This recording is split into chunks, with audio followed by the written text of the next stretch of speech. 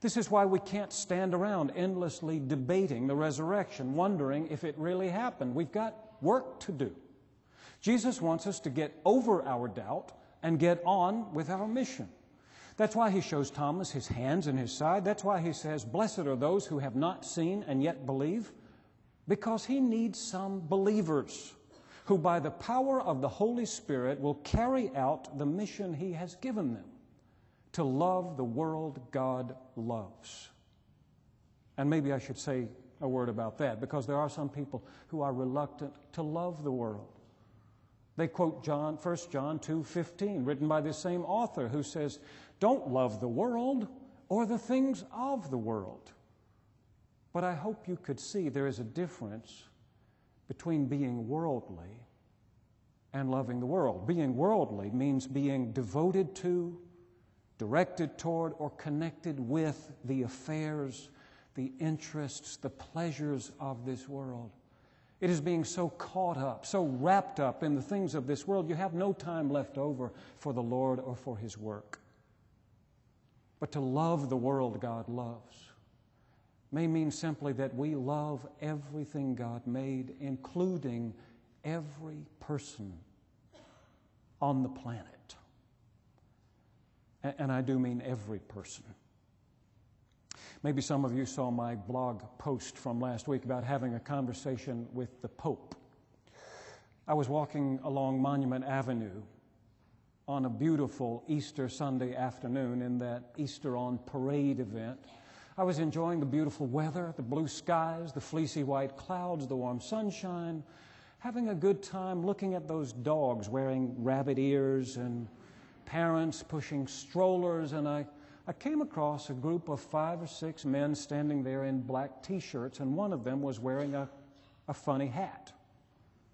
And I came up and said, Is that a, a bishop's hat you're wearing? Are you a bishop?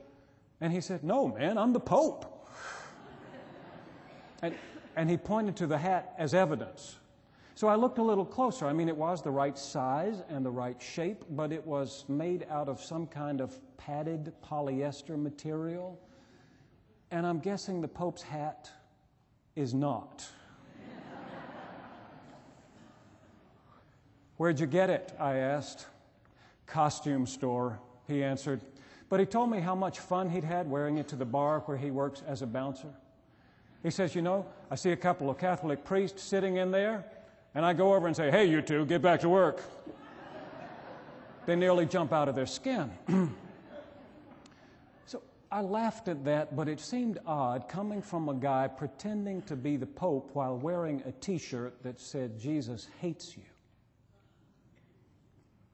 In fact, all of these guys were wearing t shirts with atheist or anti Christian slogans printed on them, including one that said, Thank God I'm an atheist.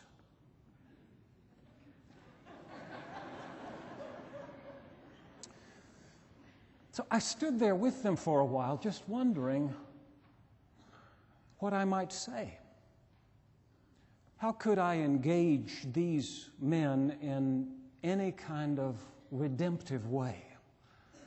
I, I, struggled to find just the right words, and before I could find them, they wandered off down the avenue to spread their message of unbelief elsewhere. But I think if I had heard this sermon last Sunday, I would have known what to do. I would have known that I had been sent by Jesus Himself to bear unceasing witness to God's love for the world. And I might have recognized that God's love for the world included these guys too. To be sent as Jesus was sent is to do what Jesus would do.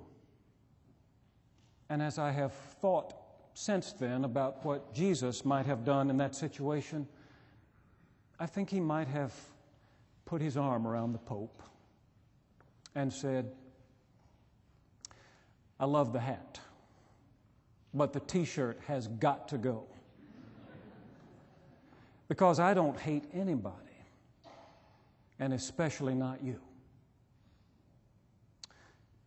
And then I think he would have moved on bearing unceasing witness to God's love for the world. He would have spent time with the most unlovable people in that parade, assuring them that in God's eyes they were precious indeed. And when I began to fall behind, Jesus might turn and say to me, Hey, what are you waiting for? As the Father has sent me, so I have sent you. Now receive the Holy Spirit and get on with it. Yes, Jesus, if you say so, that's just what I'll do. Shall we pray?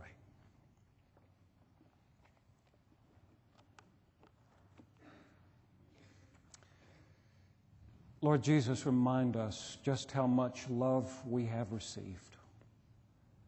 Our cups are full and overflowing. Surely there is enough in there to share with a world that is dying of thirst.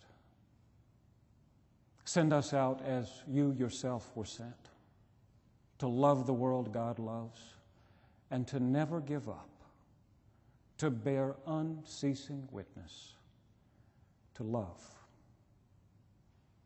For we ask it in your name. Amen.